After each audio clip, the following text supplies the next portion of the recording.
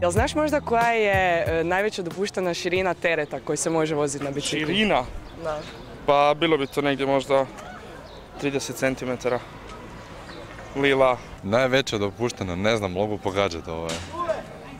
E, metar. Dva metra.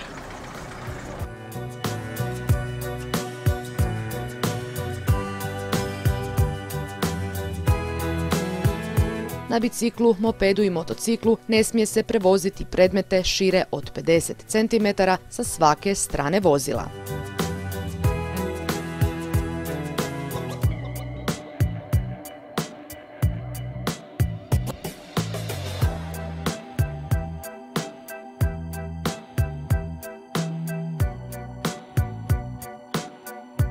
Opasno mi je i to ne volim voziti teret na govornalu.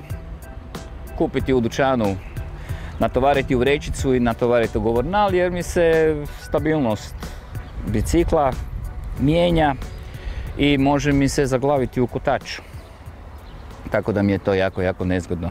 Kao što možete vidjeti, teret vozim na zadnjem prtljažniku, zavežem ga sa elastičnim paucima i nastojim da mi je teret širok toliko koliko je širina govornala. Znači kad sam siguran da se prošao s govornalom, da neću nigdje zakvačiti sa teretom. Gume moraju biti napumpane što je moguće tvrđe, znači da su tvrde kao kamen.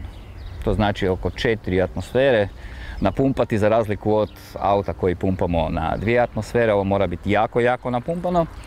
E, ne pretjerivati što se tiče kilaže i jako, jako dobro učvrstiti jer u najnezgodnijem trenutku se može dogoditi da teret padne, padne na cestu, izazove reakciju vozača, može se desiti nešto mm, teže nego što sam teret kad padne na cestu, što nisam do sad nikada doživio.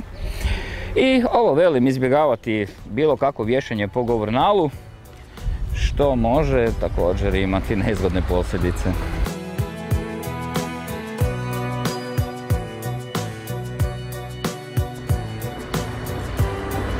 Prevoz osoba i tereta biciklima je ovak jedan interesantan dio e, tog prometovanja zato jer bicikli ima dva kotača, on je izuzetno nestabilan, na tome sve što čovjek prevozi na biciklu ne smije umanjivati stabilnost bicikla.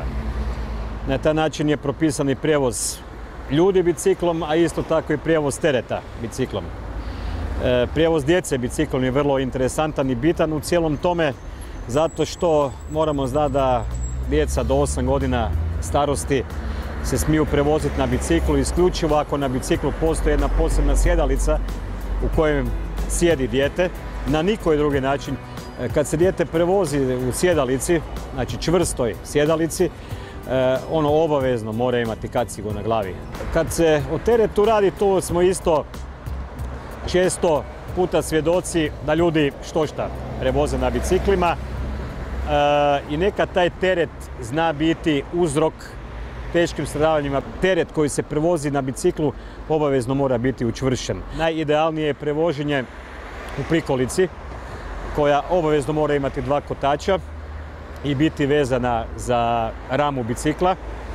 E, težina onog što se prevozi na taj način ne smije biti veća od 50 kg, a širina prikolice ne smije biti veća od 80 cm. E, ako se pridržava tih nekakvih gabarita i tih propisa, u načelu bicikl može biti jedno jako dobro prijevozno sredstvo za prevesti neke stvari